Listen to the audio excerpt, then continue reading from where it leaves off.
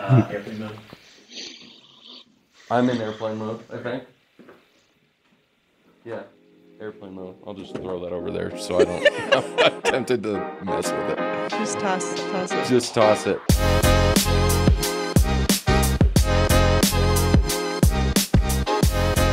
Well, Jim, thank you for hopping on an episode of Preaching Lab with us. We're excited to have you with us. Um, I'm also here with my friend, Pastor Christina Hoagland. Hi, Pastor Jim. Yeah, Jim, would you Yeah. do us a favor just to help uh, us get acquainted with you and our listeners get acquainted with you a little bit? Um, a big, broad question: Who is Pastor Jim Essian? Uh, yeah, yeah, absolutely. I, so I, I started the Paradox Church in downtown Fort Worth uh, a little over 12 years ago. Uh, I've got um, a wife of 19 years and uh, three girls, 12, 8, and uh, 12, 10, and 8. Uh, and so uh, from Detroit, Michigan, a transplant to Texas. Uh, Wow. I am not. Uh, I've not been converted to the nation of Texas, uh, but I do. I do love. I do love uh, uh, my city uh, and and of course our people. That's awesome, Jim. Thanks for hopping on here. What um, I think one of the interesting facts about you. Correct me if I'm wrong. You were once a like professional baseball player. Is this true? Yeah, yeah. So I, you know, my my kind of quick story. I grew up in a baseball home. My dad played 12 years in the big leagues, managed the Chicago Cubs. He's still in professional baseball. Been been been there for seven decades. So we grew up in a baseball home. Uh, I signed with Michigan State to play football and baseball. Uh, so football for Nick Saban.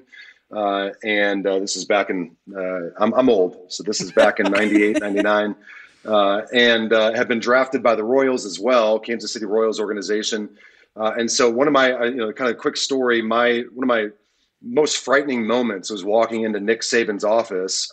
So I was there for the first two weeks of football practice and I had been drafted, was unsure of whether I wanted to go play professional or, or stay, you know, go to, go to college Sure. and play football and baseball. So I walked into Nick Saban's office uh, when I had uh, decided to sign with the Royals and let him know I was leaving. And uh, you know, Nick Saban's about five foot four. Uh, I'm six three, so uh, nothing nothing about his stature should have been frightening, but it was a scary scary moment. Mhm. Uh, and he was he was very gracious, of course, to me. And uh, yeah, so I ended up playing eight years in the minor leagues uh, with the Royals organization, Dodgers, Tigers, uh, some independent ball as well. But that was a that was another life another life ago. another life ago. Well, Jim, the way that we like to get started on here is we run through what's called the first five. So it's five questions to sort of get the ball rolling in conversation and to sort of give a profile, um, whether as seriously or as funny as possible, of what kind of preacher Jim is. So uh, let's just tee one up here. Do you remember your first time preaching a sermon? And if so, like what happened? Yeah, yeah. I mean, I mean, there's I, I I I typically think of two sermons as my first, just because the first one uh, happened three or four years before the next one actually happened. Uh, I wasn't Wow. a pre. I hadn't really started preaching yet, but the first first one was I, I was. I had just moved to Fort Worth. Was a youth pastor. I was the worst youth pastor in the history of the world. I would Um, like but, to uh, argue that was I- me, but I you did- can have whatever you want. Well, I did everything but pastor youth. I I uh, I, I, I did everything else, um, and it was just a. Um, it, it I, I barely remember it. Uh, I kind of remember enjoying it, but I don't. It's it, it. I don't think of it as the first one. okay. The first, the fir- the one that I think of as the first one is. Um, I, I just, I, you know, I was given this uh, text in the middle of a series on, on, on Ephesians, and I was just preaching through um, uh, Ephesians chapter two. And anyways, what I remember is uh, one of our pastors came up to me afterwards, and and this was he, he meant this as a compliment. He said, "You are like a masculine Matt Chandler." Um, and so I don't know if that's good for Matt, uh, but uh, and I've told Matt I've told Matt that story. Uh, but uh, what's funny about it is that same pastor that told me that is now on staff with us 15 years later. And so, Oh, yeah, that's sweet. yeah. That's so sweet. Let me ask you one more, and then Christina, you can run with it for a minute. Um, as a baseball guy, I'm always interested in doing a sports comparison. What if you're Yeah. comparing your like preaching style to the game of either a modern day or a historical like MLB player? What is your preaching Yeah. like? Yeah, I, I do. I really appreciate that. Uh, I wanted to joke somehow about it'd be like Barry Bonds because somehow I'm doing PEDs while I'm preaching, but I, I couldn't figure out how to make that make that connect. That's the spirit Um, of God. I don't know. Yeah, I don't. I don't know, man. I, I think, you know, I think I'm I'm uh, I'm kind of a brute. Uh, you know, preaching like I'm I'm un, untrained, uh, uneducated. Sure. Uh, and if I was to just describe my preaching, it'd just be somehow like I'm just out there, just giving it my all. So I'm I'm some sort of like you know Ty Cobb from back in the day, cleats up, uh, spiking people, spitting some tobacco juice. I'm in Texas, uh, you know, or like a Bryce Harper, just a little bit gritty. Uh, and uh, yeah, I mean, just somebody like Roger Clemens, just throwing throwing at people's heads. I mean, that that's what I'm doing. That's what I'm doing up there. Love that. That's awesome. Um, how about, you know, just something relatable for the people listening? What's like your most embarrassing or one of your most embarrassing preaching moments that you One can of think of? yours. Yeah. I mean, we all have more than one. So. Yeah. yeah, yeah. I, I, you know, I don't know if this is embarrassing. I was trying to think about the answer to this question when y'all sent it. I, I do. The only like memorable, just weird moment like that. You know, I, I I've misspoken for sure, but not, not nothing that would end up on a YouTube video and, and everyone be laughing about Yeah, it. But, sure. Yeah. uh, I just we were doing three services uh, for a long time, Mm. and uh, you know when you when you preach two morning services and then you have to come back and do an evening service, uh, man, that was just a ter- that was just that was, it's just really hard. Super long. Uh, yeah. And uh, I I was burnt out. I was I was it had been a long season or something, and I I literally blacked out during a sermon at the 5 p.m. service. oh my Uh, God. and you can and you can you know just like for it was just for a few seconds where I just kind of blacked out wow. and and I was telling the story to my team that you know oh oh and so I, then I went home and like slept for 48 hours straight. oh So Oh then my a few days later I'm a few days later I'm telling my team this. We go back and look listen to the vid, uh, to the audio because I remembered this. I blacked out and I like came to and I just said Jesus and you can kind of hear it. so I mean at least I said Jesus. when Right? did I that mean, too, praise you know? God. You're like, somebody feed me the line. What's the line? What do I say now? Well, the answer is always Jesus. The answer yeah. is always Jesus. That's so good. Uh, Jim, let me ask um, if you could if you could sit down with like three preachers across history, and I'm going to say that Jesus is not an allowed answer on this one. We're going to take Jesus out of the rotation here. Who are those guys, men or women, that you're like, hey, I would love to sit down with them and just pick their brain? Yeah. Yeah, I mean, I, I wanted to try to come up with you know some really cool ones that are you maybe wouldn't expect, but I, I'm just, I mean, Martyn, Dr. Martyn Lloyd-Jones was my Mm. first kind of mentor. Uh, by mentor, I don't mean I ever met him because he he he's been dead for a long time, Sure. but um, he was just the guy I grabbed a hold of when I was again an uneducated, uh, no seminary, uh, uh, uh, you know, wannabe church planter preacher. Uh, Mm. because he was he was preaching in post-Christian London. He was preaching in an urban environment uh, when it wasn't cool to go to church anymore. Uh, it wasn't a thing, uh, and he was preaching um, in such a way that thousands came to came to hear him. Uh, and so I just I wanted to learn from him. Uh, and then uh, Charles Spurgeon. Uh, I've got my Spurgeon bobblehead up here. I named my third daughter after Charles Haddon Spurgeon. Her name's Haddon. Oh, Wow. Uh, again, he he just he preached to the common man, uh, the common woman, right? Common human. He just he he was he was preaching in a way that people could understand, uh, but it was the deep, uh, rich truths of God, uh, and uh, planted a lot of churches, and um, you know was able to grow a church preaching preaching the Bible, and it was just beautiful. Mhm. Uh, and then the the late great Tim Keller. Uh, I never Mhm. got to meet Tim, uh, and uh, uh, would have loved to have sat down and talked to him about preaching. Yeah, that's awesome. How about for you, Pastor Jim? What are three words that you would use for your own style to describe it? Mm. Yeah, I mean, I uh, one of them would just be um, a, a a brute. I'm just a brute. I'm just, and by that I just mean I'm just I'm I'm up there saying stuff, and I uh, I don't think too much about, about it, uh, but uh, um, yeah, just a little bit a little bit gritty, you know, a little Mhm. bit gritty Mhm. uh, in in what I'm in in what I'm doing. Um, I, what, I I made a I made a joke at one point. I was I was talking about uh, you know that we're all saints, right? There's you know saints aren't saints. We're all saints. Uh, you know, there's the the patron saint of of plumbers, and there's a patron tra- saint of uh, you know, and, and I, I call myself the pa- patron saint of jock preachers. Uh, you know, I'm, it. I'm a I'm a jock preacher. Uh, I'm a brute. I'm I'm gritty. Um, uh, that's probably the best way I'd des- describe it. That's so good, love Jim. I what I would uh, love to do because I actually don't know this story. I know bits of it, uh, living near where the paradox was planted and such.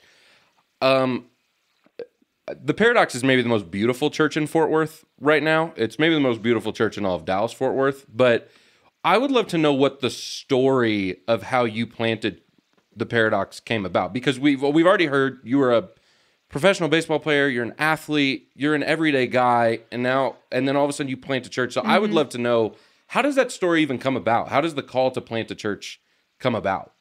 Yeah, yeah, absolutely. Um, uh, about a year uh, after I was married, on Christmas night, uh, uh, God woke me up in my sleep and told me I was going to be a pastor. So, depending on how charismatic you are, God woke me up and spoke to me, or I had a urging of the Holy Spirit, or uh, you know, depending on how charismatic, uh, God, I, I felt a sense of a call, um, and it was it was it was profound. Uh, and then you know, so I just I played. I played another three years. I, I, I mentioned to my wife, I mentioned it to my mom, and didn't really think too much about it. I, we we grew up in a Christian family, but because my dad was in baseball, we traveled a lot, so we weren't really church folk. I, I never really was a part of a, a, church until I planted one. Uh, and uh, or I mean, I was working as a youth pastor, so I, I guess I was a part of one then. But we, I just didn't understand the church. Um, I didn't really know where they came from. Uh, and uh, when I found out about church planting, I, I was I was I, for whatever reason that was amazing to me. I didn't know you could start your own church. Um, Love that, But yeah. uh, I, I was playing baseball in Atlantic City um, a couple of years after I felt like God had called me to be a pastor, and uh, things weren't well in my career. Things weren't well in my marriage. And I remember going across the street. We, we were on this. Uh, we, we we had this rented beach house, uh, and I went across the street to the beach and and just was praying and reading my Bible and and really crying out to the Lord, like what what what do I get with being a Christian? Like I, my my career's not great, my marriage isn't great, I don't love where my life is. Uh, what do I get with all this Christian stuff? And and again, I felt like the Lord spoke to me, and He just said, "You get me, Wow. uh, you get me." Come on. Uh, and that kind of set me on a trajectory towards um, the the calling that God had put in my life. Uh, uh, ended up retiring from baseball uh, a season or two after that. I learned that you could plant your own church, and as soon as I heard about church planting, I just knew that was what God had called me to uh, a few years before. Uh, and I, I, I, I thought I was going to plant back home in Detroit. Uh, again, urban, post Christian. My, I have a huge family back home. Uh, but it, it wasn't long before God made it clear that I was supposed to plant in Fort Worth. Uh, and and I, I wrestled with that for a little bit. Uh, I'm not from Texas. I don't love country music. I don't have cowboy boots. Amen. Um, Amen. My uh, I'm really funny north of the Mason Dixon line, south of the Mason Dixon line. Yeah. My sarcasm just doesn't quite play. That's Uh, and uh, but but God made it really clear, uh, and and over a few kind of experiences and and and and, and a few a few months, kind of bound. Like my heart was just uh, soldered to the hearts of the people at Fort Worth. Like it was just Wow. uh, it, it, it became a calling deep in my bones. And so, yeah, we started gathering people in our li- living room and, uh, you know, started with eight people in a living room and that grew to eventually 40 and then 60. And then we, we launched Sunday services and, uh, and the whole time it, it was always very clearly, we were called to downtown Fort Worth. Mhm. Uh, and that's been, uh, that was very difficult. Uh, to find places to meet, and we moved offices about eleven or twelve times, and we, we've we've had Sunday services in about ten or eleven different spaces. Uh, but yeah, it's been a beautiful journey. That is beautiful, Jim. wh- And just tell us, like, how's the paradox doing now? What's the paradox up to right now? Yeah, so we I think you alluded to this. We moved into our own uh, facility uh, back in late March, about five, uh, four or five months now. Yeah. Oh, uh, nice. and uh, yeah, it's been it, it's been great. I, I when you look back at the last three years, you know, COVID, and uh, you know, so we when we look back at our past three years, we had we had we had you know COVID. Uh, we moved not once, not twice, but now three times in the last Right. three years, Wow. uh, and we planted two churches in the last three years. Oh, Uh, awesome. and so it's been. Uh, we went. We did a building campaign during the pandemic. nice. Uh, yeah. Don't don't don't, do Don't. that. Don't do that. Yeah, yeah, don't do that. uh, and so just I mean, God's grace is all over uh, our you know our 12 years as a church, and, and, specifically our last three years. And so yeah, she's she's doing great. The church is wonderful. I, I just um, we are unbelievably blessed by all that the Lord has done. That's awesome. I think that's a beautiful testimony of of doing something that you think, you know, logistically or on paper wouldn't be feasible. And that's the whole point is that like what you're saying, even with your story of how you became a, a pastor and a church planter. Yeah, it's good. Like God can do whatever he wants with whatever he wants, COVID, whatever. So that's so awesome that the Lord did that. Praise God. Yeah. yeah. And it is yeah. y'all for those of you that are listening and watching, just please just Google the Paradox Church in Fort Worth and just look at all the photos. I occasionally just do it on a Monday morning to remind myself of how beautiful a church can be. It is beautiful. It is a beautiful building. Mm-hmm. Um, so let let's dig into talking about preaching a little bit, Jim. Um, and we can start broad and sort of narrow it down as we go. What when it's it's Monday now, when Jim knows, hey, I'm preaching this weekend, and you're getting ready to sit down and start working on a message. Like, what is what is your goal when you're thinking about preaching? What is your like? Do you have a philosophy of preaching? Does that register for you? Yeah, no, a- absolutely. So uh, you, this is going to probably feel counter to maybe a lot of what uh, you've heard, or that's great, um, or even maybe what you believe about about teaching and preaching. But I actually don't care if anybody remembers the sermon. Mm-hmm. Um, oh, I, I, don't I don't preach for it to be memorable. Um, uh, I, I want to fight for clarity. Like I'll, I'll nuance what I'm about to say in, in other in other uh, questions, but my main goal is not that uh, I, I uh, they have a memorable sermon uh, or that they remember anything about it. Mm-hmm. my my my theology and philosophy around preaching is that in the moment they're uh, they're going to have a meeting with God. Mm. Uh, that in that yeah. moment they have an encounter with God, uh, and that that that's the point of, of of the preaching. There's teaching and there's books and there's there's discipleship and there's all these other things. And and it's not that preaching isn't any of those things, but um, my main goal for preaching is that they would have a sense of God and His presence. That's that's Martyn Lloyd-Jones. Mm. they they would have a sense of God and His presence in in the in the experience, in the moment of preaching. So Martyn Lloyd-Jones, for a long time, wouldn't let his sermon recordings be be put out uh, because he really? he felt like, and he, I mean, he would take the transcripts, and most of his books are are just his sermons, but he felt like something was lost if you didn't actually experience the sermon. Mm. Uh, and I, I think there's some truth to that. Yes, I feel I feel like the weight lifted off when you say that, mm. like the pressure off of like creating something memorable versus just opening up the gates for the Lord to show up, like to create an environment where people can encounter God. That's really awesome. Yeah. So, Jim, would yeah, you I mean, say? I, I, yeah. Go ahead. Go ahead.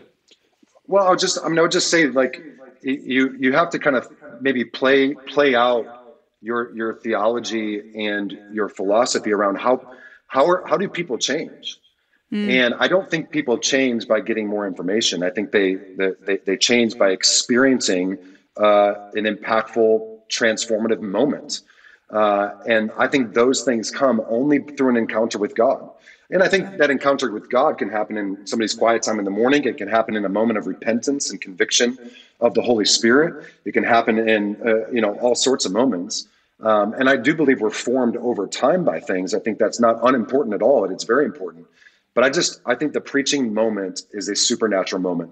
Mm-hmm. Yeah, Jim. Uh, the word that kept coming into mind as I listened to you talk about it was it. It feels like the way you think about preaching is it's very incarnational. Like something is happening in that moment where like God Himself is coming into a space, is spirit is touching spirit, and then what may yeah. come from that comes from that. I do think you said this, Christina. There is something quite freeing about that. Mm-hmm. Um, I think often I talk to people who preach, and there's this need to like, um, I have to give them three steps to do this thing, or it won't. The sermon dies, basically. Mm-hmm. And what you're yeah. saying is the complete opposite. Right.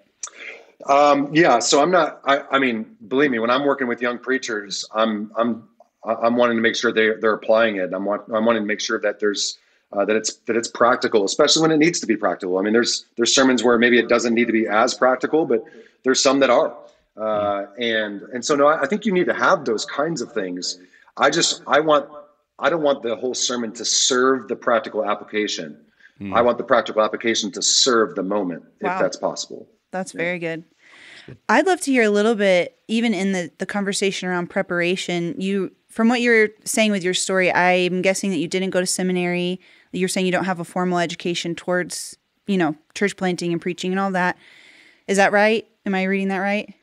Yeah, I have zero schooling whatsoever. Okay, great. Thank, thank you for reminding me. No, I resonate. I This is resonate. good. Yeah. This is good hospitality for our guests. but Let's I feel going. like that's you know there obviously there's a huge value to education, but I I love to hear like Absolutely. I think the advantage you had coming into this field is that you didn't have to undo maybe some of the academia Mm-hmm. that did form structure around how to prepare.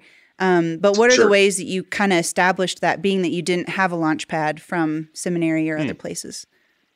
Yeah, no, I mean that's that's a great. I mean that's a great question. Uh, so you know, a couple of answers to that. One, um, you know, God God has gifted some people to do something, and and He's not gifted other people to do it. So I, I think there's a huge part of just gifting in that. Hmm. I think sometimes people think uh, because they have the gift of teaching that they should be a preacher, and I don't know if that's Mm. necessarily true. Um, Yep. You know, the the gift of teaching is a, a, an amazing gift, um, and um, but that that a lot of times that's going to be uh, more of a small group type situation or a, a small classroom type situation or a one-on-one type situation where uh, they are taking. Uh, that's another reason why I don't have to uh, worry too much about how much practical application I put into a sermon because I, know I've got a, a church full of teachers that when they gather in small groups and they are uh, discussing the the text from the sermon and the sermon itself, that there's plenty of teachers gifted in my church that are going to help apply those kinds of things to uh, our members uh, in their lives. And so, um, yeah. I mean, there's just you know, uh, some people are just gifted in preaching. Uh, so that's one thing. I was gi- I was gifted in preaching. I was good at it uh, from the start, uh, and obviously, you know, by God's grace, I've gotten better as I've worked hard at it. Um, the, the the other thing I think is just we should be learners. Leaders are learners. Mm-hmm. Uh, And so uh, for me, I, I wanted to learn about preaching. I read all the books on preaching uh, Preacher and Preachers by Martyn Lloyd-Jones, and um, uh, Lectures to My Students by Charles Spurgeon, and uh, you know many many others uh, over the years uh, Mhm. on on preaching, uh, and then listening to preachers. Uh, it's a lot like um, you know uh, a a golfer watching uh, Tiger Woods golf swing, or uh, a a baseball player watching Barry Bonds, uh, you know, uh, hit a baseball. You watch other people do it, and you learn by watching. Mm-hmm. Uh, you learn by listening. Uh, and so I, I would, uh, I don't listen to anybody's sermons these days, but back, back in the day, I listened to a ton of preaching, just a ton of it. Uh, and, and would just think, why do I like this? Why do I not like this? What, what do I like about this guy? And I don't like about this preacher. And, um, and, and just what are, you know, the different strengths and the different ways in which they, they preach. I think you can learn a lot just by, uh, listening to great preachers. Yeah, for sure. Yeah, Jim, thinking about the way you prep a message, the way you're sort of sitting down to work on one, do you have a like do you have a go-to flow that you step into at the beginning of the week that you're like, I know when I'm writing a sermon, this is this is how I'm trying to format it, this is how I'm trying to build it out. I know I've listened to so many of your messages, you tend towards the like line by line, very exegetical breaking down a text. Is there a format that you're following for that or is it just Jim is opening his Bible and going into it on a Monday morning? Well, I mean, you know, a, a, year to a year and a half in advance, we're we're working out that preaching schedule. So, Hmm. uh, you know, I've got my preaching schedule all the way through the end of next year.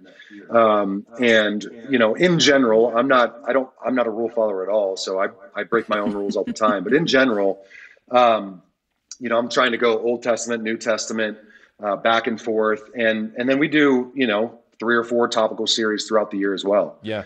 Uh, uh, now we did two years through Luke. We did two years through Genesis.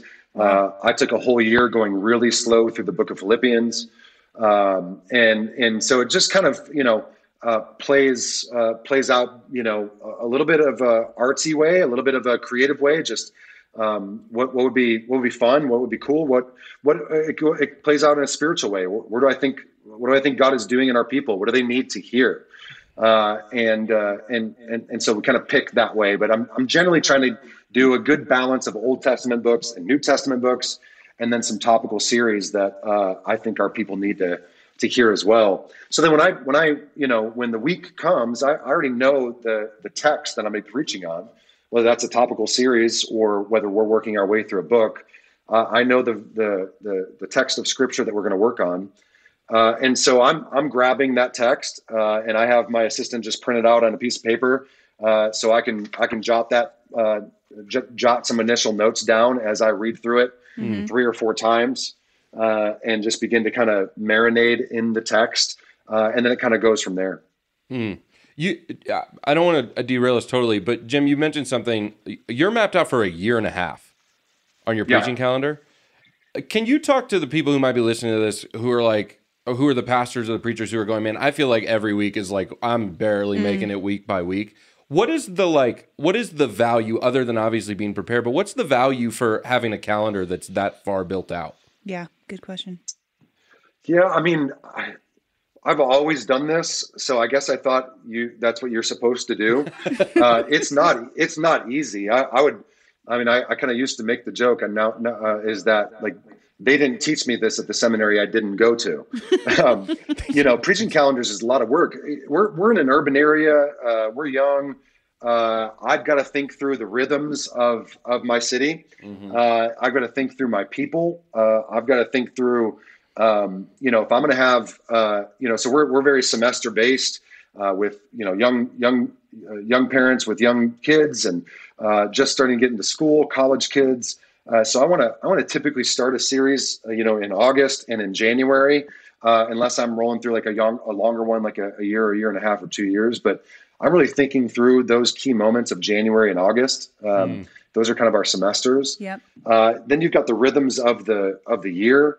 Uh, you've got the summer, well, where obviously you're going to be a little bit more. Uh, people are going to be more out of town and gone, and Sure. uh, that's why I'm going to take some time off. And so you're just thinking through all of those things, holidays and uh, different things like that. And so I don't know. We just kind of think through that, and I, I've learned over the years now kind of how to do it. And uh, but yeah, I, I want to know. Um, I want to know where we're going, and my team needs to know. I mean, we try to. What we try to do is create campaigns around this, the the sermon series because we do typically longer series than most churches would do. Uh, you know, even when we do a topical series, it's going to be 12 weeks long probably. Wow. Uh, so we do longer longer series, and so we just wrap the ministry around that. Uh, um, you know, uh, discipleship ministries are going to be connected to the sermon series, and the small groups are going to be connected to the preaching and the, the the songs that we sing on Sundays and the songs that our people write. So we write a lot of our own music. Um, All of that's going to kind of flow out of uh, you know what what's what's happening at the pulpit. Uh, and so a lot of it's just centered around the themes and and and and the book of the Bible that we're preaching through uh, from the pulpit. Hmm. That's So they just work. yeah they need that time to to prep and work on that stuff. Yeah. I think just piggybacking off of that, and we were mm-hmm. going to ask this in regard to preaching too, but I think even in the planning, I'm curious can you speak to a bit like the balance of planning mm-hmm. and how the spirit meets you in the planning, but then also like just how do you leave room for the spirit to, if you needed to pivot, if you feel like, oh Yeah. oh man, I really, you know, would you change something? Would you leave it and just trust the spirit's going to be in that? Like, how do you kind of approach leaving room for the spirit in regard to that plan to be able to plan that far out? Yeah. Yeah, I do it all the time. Uh, you know, we do it all the time. Uh, we, you know, there's been times where, you know, a even in the middle of a series, I've just said, you know what, I need to preach on this. Um, it doesn't happen often, but it's happened. Uh, and yeah, all the time. I mean, I, I- I say I've got, you know, till the end of next year planned out, but for sure it'll change. Uh, you know, it, it, it certainly will change, and it does. Um, especially those kind of topical series that we kind of can move around a little bit. And uh, what we think we need now, we might get into next year and be like, actually, this seems more important for us to hit on uh, as a church. And so, uh, typically, those bigger series, the you know, the books of the Bible, those kind of things, they they usually, um, you know, they usually make it out. And and I think I think that's the idea is like the Spirit can move, and you can you can pivot. Uh, which, by the way, since COVID is the worst word ever, so don't ever say pivot. That's a, Yeah, sorry, a terrible sorry. word. Yeah, It is. Um, Just induces It is, anxiety right? in everyone. Oh, right, right. yes, it's Pivot and PTSD, yeah, precedent, just out. They're out. Yeah. yeah but but how i've the amount of times that i've seen the spirit use something that was planned a year and a half in advance and to recognize like wow you know god you know god is orchestrating this he is he's sovereign over all things he knew we would preach on this thing Yes. you know 14 months ago uh, and and it was just it was just perfect. And I, I was I want to say this also.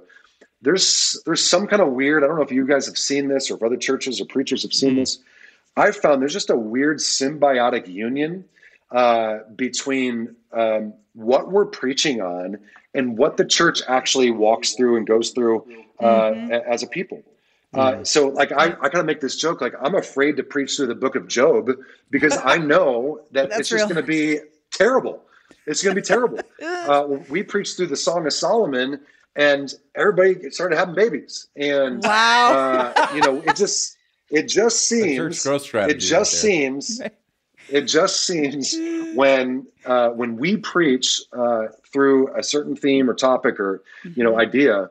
Um, it, it, I don't know if it's stirring something up in our people or if the spirit is just kind of doing something there. Uh, yeah. and, and, so I just say that to say, like, uh, the spirit can sometimes move to where he's saying, I'm doing something. I want you to pivot. But I think a lot of times the spirit just takes the word of God mm-hmm. and draws that stuff out of people. Mm. That's an excellent answer. I feel like what I hear you saying is the value of like preparing, trusting that the spirit's in the preparation. He can plan for things that we would never even yeah. guess for. And also like leaving margin for if you need to, that yeah. you're also not throwing your teams under the bus. Like there's movement in your year from what you're saying where like you could pivot and also you're honoring your team's time because it's like there is a plan in place and also I, I think that's great. Yeah, it's good. Yeah. Jim, uh, I you've described your preaching style and I've, I've heard it. So it is very like straightforward. I, I feel like you have this value of like being connecting with the every man or the every woman. You you want to be who you are off a platform, same person you are on a platform. Was that always natural for you, or was that something that like over time you found yourself being like, oh, this is just who I've I figured out how to be Jim in both places? Because um, I can think of myself and I think of other preachers who are trying to figure out how to step into it. Is there's often this tendency for people to they even verbally they talk one way off a platform and then they get on a platform and they all of a sudden it's like they've put on a different voice, which I think is a right. sign that they're just sure. not quite sure who they are. Has sure. was that natural for you? And if it if it was or if it wasn't, I would also love to know, Jim. What would your advice be to the young preacher who's trying to find out what their voice yeah. is? Yeah, no, that, all, all, of that is really good. I mean, you know, we uh, Martyn Lloyd-Jones said that preaching is is logic coming through someone who is on fire. Mm. Uh, and so there's a sense in which, which it's coming through someone. Like there's a personality. There's a personality in the biblical writers. You know, uh, God is God is you know the Spirit is the uh, the, the primary author, but He is writing through human authors mm-hmm. and human personalities. Uh, and so, yeah, you want to you want to find your own voice. That only in the end that only happens through reps. Uh, you can do some things that hinder that. You can only listen to one kind of preacher instead of multiple preachers to oh, learn from. Uh, mm-hmm. Uh, you end up being a parrot of the one that you listen to mm-hmm. instead of mm. just being you. Uh, and uh, and and it's just yeah, it's it's reps, reps, reps, and it's just being you. I think it's being comfortable with who you are. Uh, if you struggle with the fear of man um, to a certain degree, I would say you're probably just not ready to be in ministry uh, and you're probably not ready to preach mm. uh, because that it's just an incredibly, incredibly difficult to serve people when you're afraid of them. Uh, and mm. and so I would just say like, you know, not many of us should be teachers.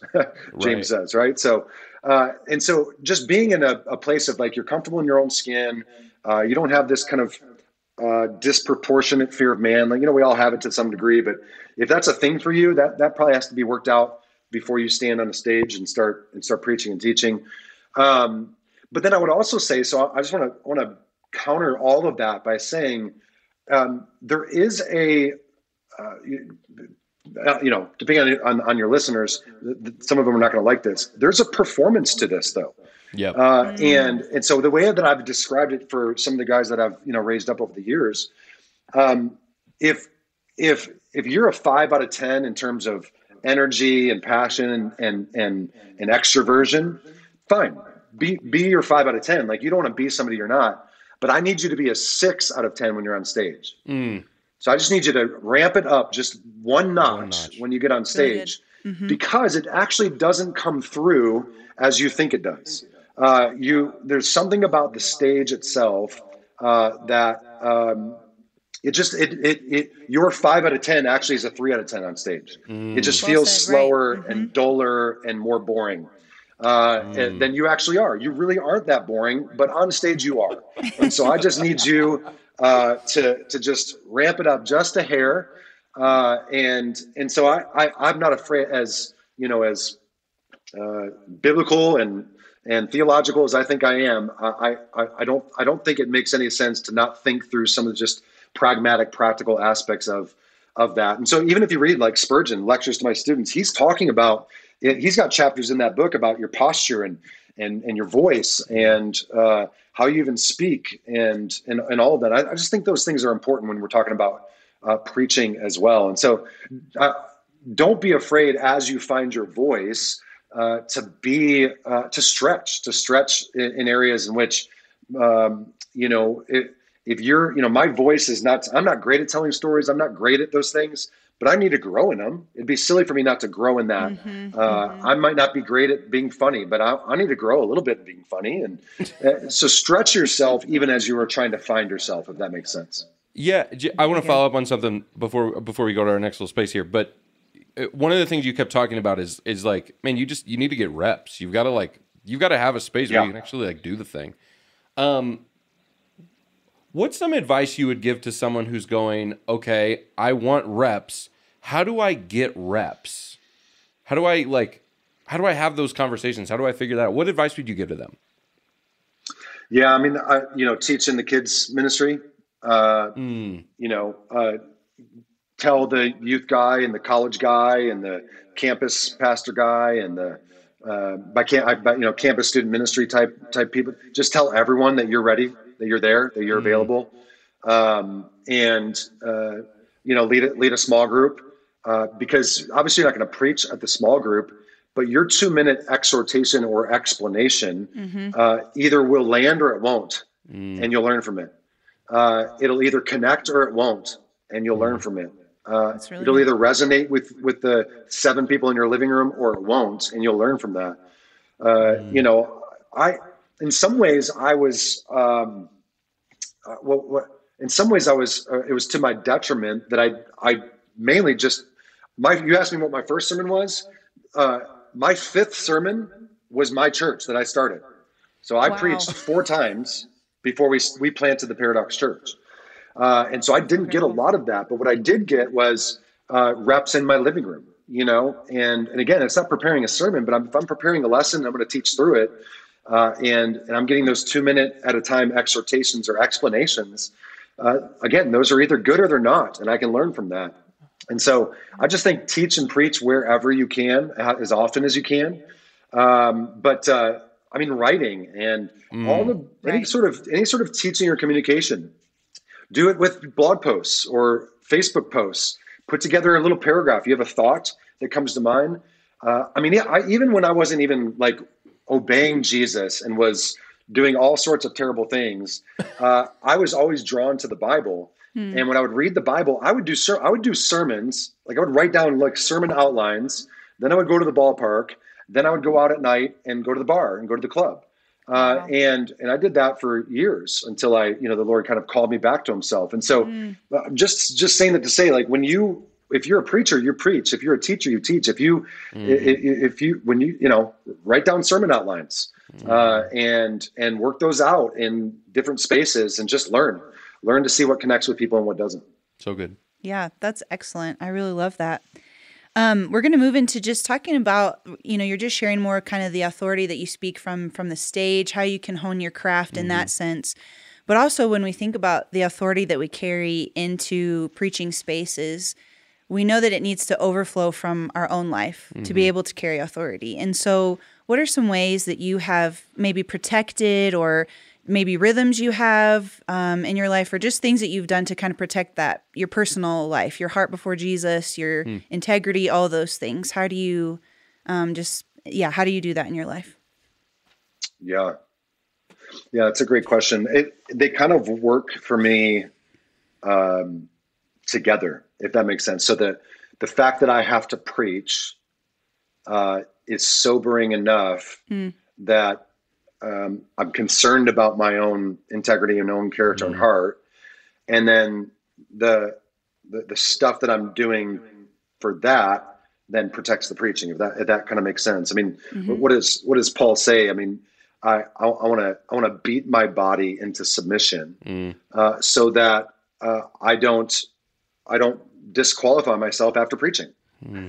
you know, Yeah. so he's saying I, I I need to have the kind of self control, conviction, integrity, um, uh, healthy habits uh, off, you know, out of the pulpit, so they don't disqualify what I just said in the pulpit. Right. Uh, and you know what did what does you know Jesus say about the Pharisees? They preach but do not practice. Mm-hmm. Uh, and and and really, like you can find a a, um, a definition of discipleship in in Paul's letter to Timothy when he he says he says uh, uh, he, he says um, he says to Timothy, watch your life and your doctrine closely. Yes. so watch wow. your doctrine closely, like know the teaching, Mm-hmm. know what you believe, know what's right, know what you're going to preach, but also watch your life closely Mm.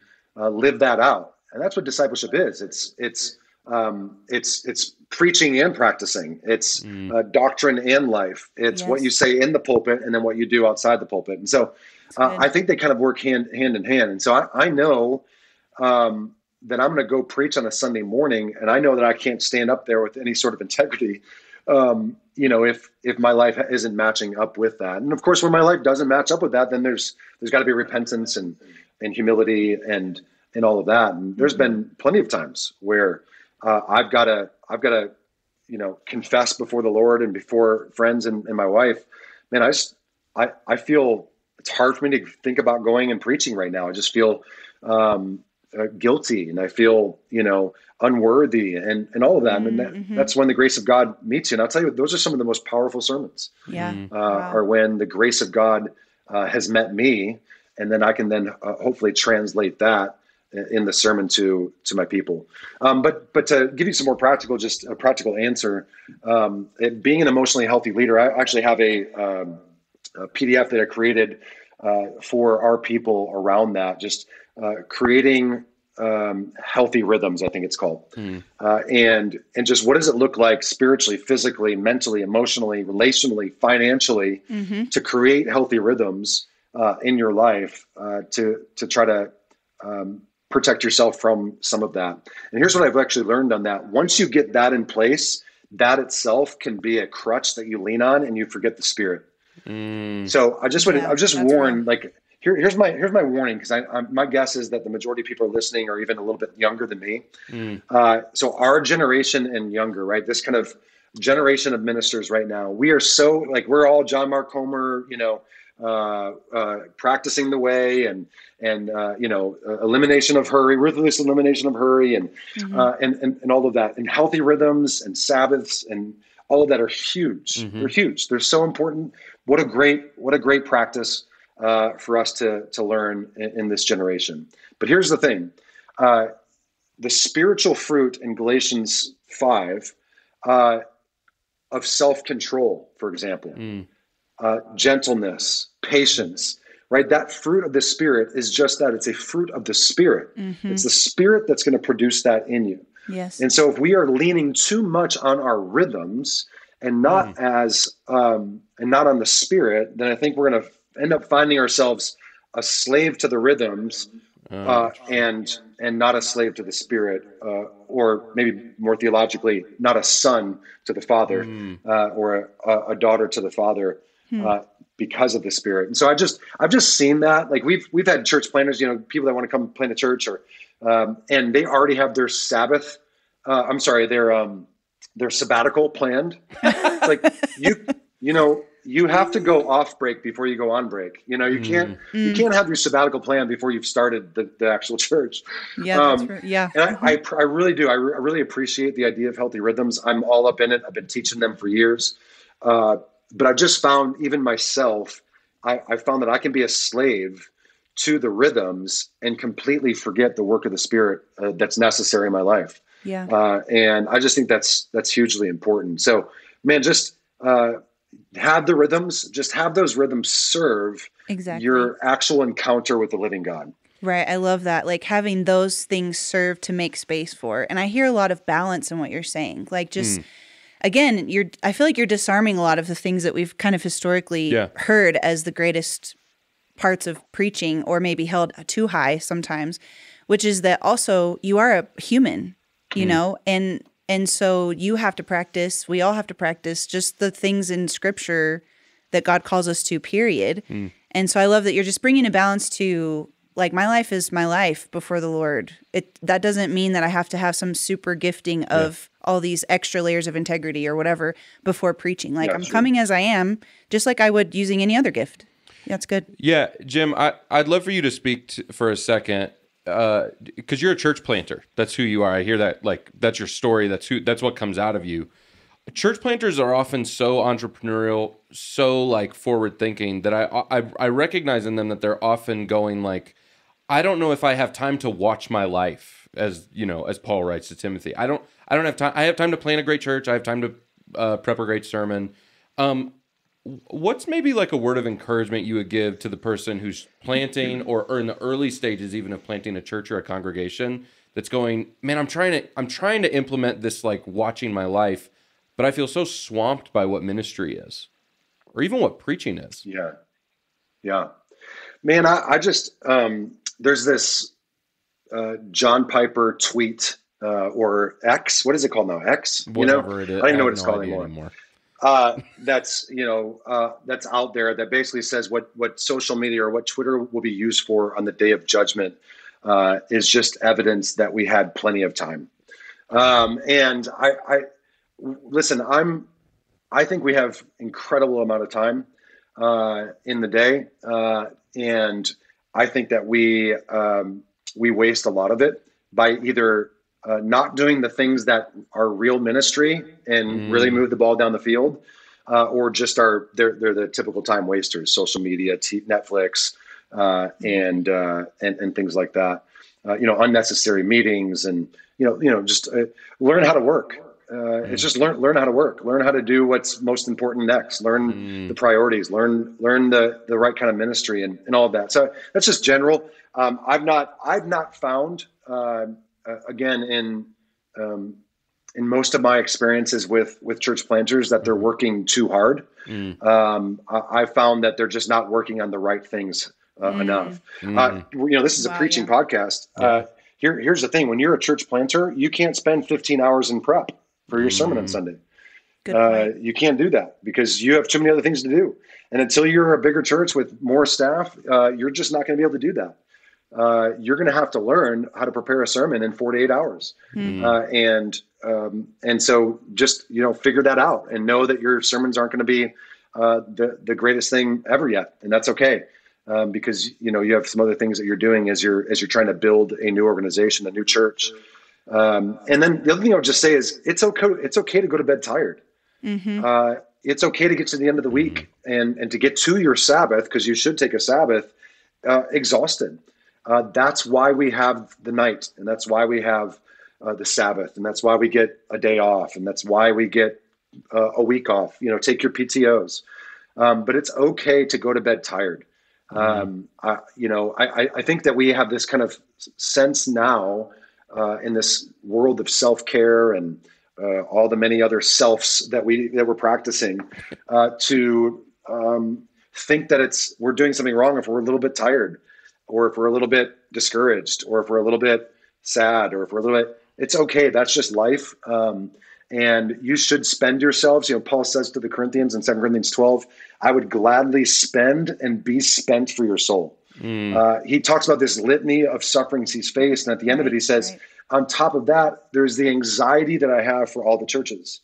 So I, th- this Wow, idea yeah. that we wouldn't spend ourselves and be exhausted is that that seems silly to me. Um, and so, yeah, I just think if you uh, if you're going to disciple your people, uh, if you're going to evangelize your neighbor, if you're going to be a good dad or mom to your kids, if you're going to be a good spouse, uh, if you're going to um, prepare a teaching or a sermon, uh, if you're going to lead your staff or your volunteers well, uh, and uh, and if you're going to take care of your your body um, and your mind and uh, you know some of those things that you need to do, and then you have time for Netflix, then you do Netflix. Uh, but but if you don't, then just Netflix maybe should be the thing that goes first. uh, and and it's okay if you go to bed tired. Jim, you're being a good, good. pastor right now. Yeah. You're just being a pastor. I can see it. What? Uh, let's spend the last couple of minutes here. I want to talk about creativity with you a little bit.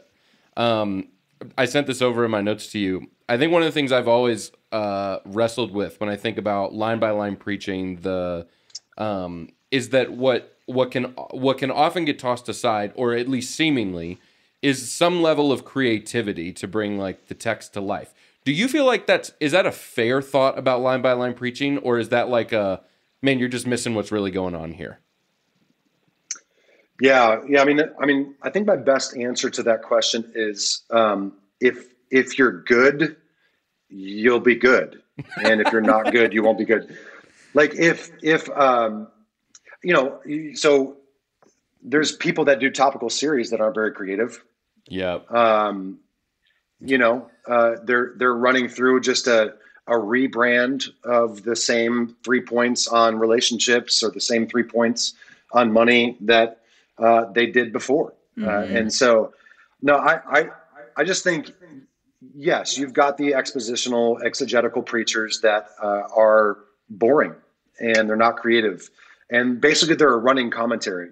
Yeah. Uh, Yeah. and they just Mhm. explain this verse and then they explain this verse and they that's just not good preaching Mhm. uh, and you've got topical preachers you know spurgeon was a topical preacher Mm. uh, uh, and and they can be creative and good and and and rich and fresh and impactful in what they're teaching and preaching or they can just be boring Um, there's plenty of boring topical sermons and topical series out there as well Yeah. so I'll just say if you're good, you're good. Uh, and I would also say like there is an art to preaching, and I think that's the the the thing that uh, you don't probably learn in seminary. Yeah. Uh, there's just an art to preaching, and and you can't really know how you're going to teach a text. Uh, you can't use a formula to teach it. I, I don't think you can, because each text just is different. Um, each genre of the book of the Bible is different, uh, and what it's doing to you, and how it jumps out at you, and all of that. There's an art to the sermon, uh, and if if if you neglect the art of the sermon, it's just not going to be very good. Uh, and those that are good, there's an art to it uh, and they're weaving together a thread, a theme. They're they're asking a question early on and and creating some tension, and it doesn't really get answered until the end. Uh, they, they do a callback, you know, at the end. Uh, you know, so this past Sunday uh, started with an illustration from Hosea. Uh, teaching in Revelation, but was started through an illustration in Hosea, and the conclusion came back to Hosea and the end of Hosea. What what, what happened next in the story? Um, and so there's you know there's ways of crafting the sermon that uh, creates that kind of interest and tension and and the pace. There really needs to be a pace to preaching. Uh, a lot of our sermons they're they're they're just you know they just go like this you know just straight ahead and there's no sense of like speed or pace or or rhythm to them. So that's all Right. art. Uh, and and creativity and wordsmithing and Mm-hmm. and all of that. You know, cool stories or funny stories Mm. are one thing. I, I think I think richer richer preaching, um, you know, more depth is really thinking through um, uh, that the other kind of that that art stuff, uh, the pacing and and the man. How does this? How might this metaphor work and and things like that. Um, so yeah, I, I think there's a depth to preaching that the expositional preacher and the topical preacher can both find. Mhm, That is good.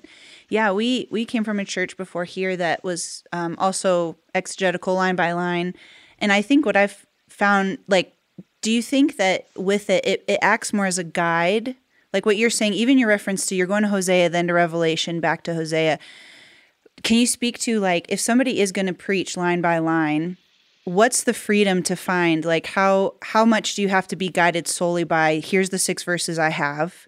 Like do you feel do you feel the freedom to be like I read it all at the beginning. I read the six verses. Now I'm going to go wherever I think I need to go or do you feel like every single word is important? Like how do you kind of approach that? Yeah, no, that's great. That's this is a great question.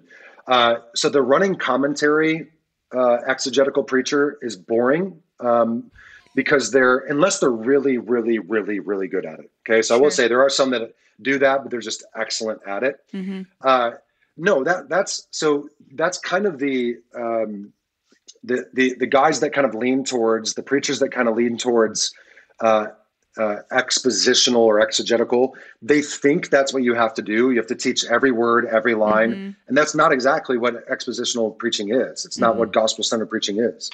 I want to take the main idea of the text, right? So Revelation 17 yesterday, uh, the main idea of the text is that uh, you know who, who is Babylon?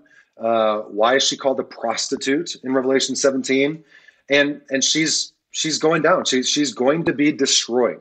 So I I it's Revelation 17. There's no way I could teach every word and every line of that. right. uh, that's it's crazy. That would be crazy difficult, and it wouldn't serve anyone. Mm. But if I can pull out the big idea there uh, and use use the, the, the verses around it to help support that. Uh, if I need to go somewhere else in the Bible, or I'll, sometimes I'll do what I call just uh, an excursus. Uh, I might I, I, might you know take five minutes and go on a rant uh, over here on on some doctrine maybe or on some practice mm. because that's where my heart or my mind went when I was reading through the text. Mm. So yeah, I, I, I have a lot of freedom to do that, but it's all meant to serve the main idea. So what is the main idea? And and so I think the difference between the two, if I would say the best definition of the difference between a topical sermon and a uh, expositional sermon is the main idea of the expositional sermon comes from the text you're expositing. Mm, mm-hmm. The main idea of the topical sermon comes from your you know whiteboarding creativity that you did. I'm not saying right. that's bad. I do that too. Sure. sure. Mm-hmm. Um, but you're you're I'm saying you know six months from now I'm going to preach on money next summer because I've never actually done a topical series on money. Uh, and I want to teach on consumerism. I've already decided my main idea is consumerism. Sure. So now I've got to think about what is the best text that I can teach from, or maybe even a few texts that I want to teach through. Mm-hmm. But I've already decided what that is. Whereas if I'm teaching through Revelation as a book, when I get to Revelation 17, the main idea has to come out of Revelation 17. Yeah, that's so good. And I loved what you even said earlier about you know your congregation, you know the type of people that and the caliber of people you have that are able to, if you don't say every word, you're also giving them now something to do on their own. When they go home, they can go and be like, "Oh, he didn't talk about this verse that much. I'm just going to study that on my own." And and you give people it back into their hands, which I I really like that. It's good. Yeah, you know, and I mean, I don't know how long you've been a Christian, but I've been a Christian for you know, I don't know. I've been really, really, really following Jesus for over 20 years, um, and I've read my Bible a lot, and I've taught a lot of it. Uh, I can still go back to the same books of the Bible that I've taught through yeah. and see new things and have it yeah. hit me in different ways. So the you know my dad always said, and he stole this from somebody, but he he always said to me, he said the the, the Bible is so shallow that no baby Christian can drown, but it's so deep that no theologian can touch bottom. Mm. Uh, and yeah. so to think that we're going to exhaust the text in one sermon uh, just seems um, it seems unnecessary and also seems uh, kind of ridiculous. Well said. Yeah, Jim, thank you so much for joining on th- uh, joining us on this episode today. You're like, you, I've realized as I, as we've been talking, I've had moments where I'm sort of just zoning out and listening to you, which I don't normally do when we do these, but I'm like locked in on what you're saying. So I can imagine what a gift you are to the people who call the paradox home.